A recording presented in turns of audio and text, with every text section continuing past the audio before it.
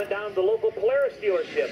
Took out the tape measure, measured up a brand new 2013 Walker Evans 900 XP Razor to make sure that a Sikorsky T-58 helicopter engine would fit. Loaded up, took it home. What if it's still in Full Taking position uh, a look at right that now, next and he's space, going we to come told back them here. that, what they're going to do to that brand new Polaris. Once Paul got it home, drove it around the house a few times to see what the performance was. Took it in the shop, tore out the entire Thank you, sir. drivetrain, engine, transmission, cooling system, electrical system, and on and on until we get to the point of having just a rolling chassis. Then Paul started cutting up the back half to make the engine fit, and after a few weeks, here we are, a fire-breathing ATV. I'll tell you what, you get you're racing a guy like this, you go over the hill, and all of a sudden he shoots a 50-foot flame at you.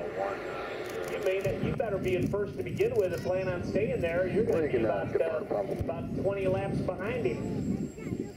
Yeah, This has an Going white 2,000 horsepower. It's an engine taken from a Sikorsky helicopter. You can tell the sound's incredible. It literally sounds like a jet taking off your driveway.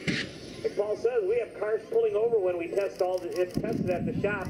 Everyone wants to see what's going on at the Stenders next. Can you imagine what it had to be like growing up in the neighborhood when Paul Stender was a kid? Hey, you knew the rescue squad knew the address by heart.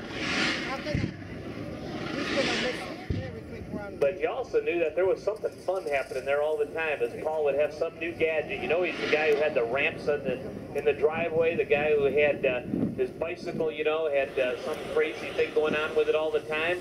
And then he started started playing with go karts and mopeds and motorcycles. And all of a sudden, they just got they just got out of control. And here we are now, a guy that's uh, everything he's got's got a jet engine in it. As we talk about, we watch the Razor right now. We, as we do Paul stuff here, let's watch now. He's going for a high-speed run right now in the Razor. He's got it all the way up to 40, 50, 60 miles an hour. He's running all the way up. He's going to be cruising up to close to 100 miles an hour. He's out there at 90, 60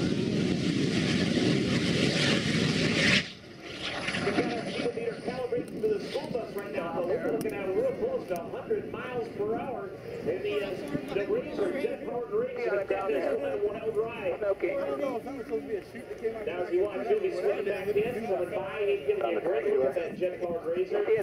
What a crazy operation. I'll tell you what, uh, so cool to see Paul and all of his toys. He's going to come back down. He's not done yet, folks. He's talking to Burger Can out there. Looks like he's going to come out of us. An ATV, so I mean, he should be able to go off-road with this.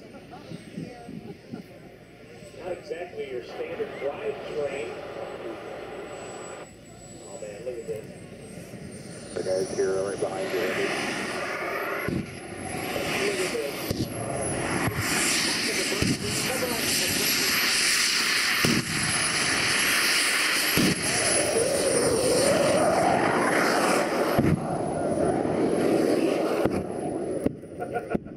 I gotta tell you that you don't laugh at his operation here. You're just a sourpuss. I'll tell you what. What a what an operation. That's Paul Stender, the Indy Boys, and let's give a great big hand to Paul and his entire team. Great job, Paul.